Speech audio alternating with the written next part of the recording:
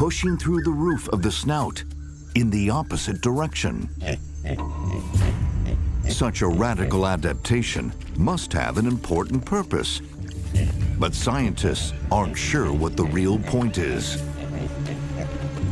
The fang face is an omnivore, but his teeth aren't used for killing prey or even digging up roots.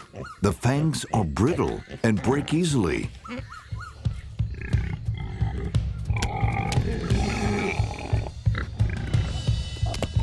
So brittle that when males fight, they box with their forelegs and keep their teeth out of the way.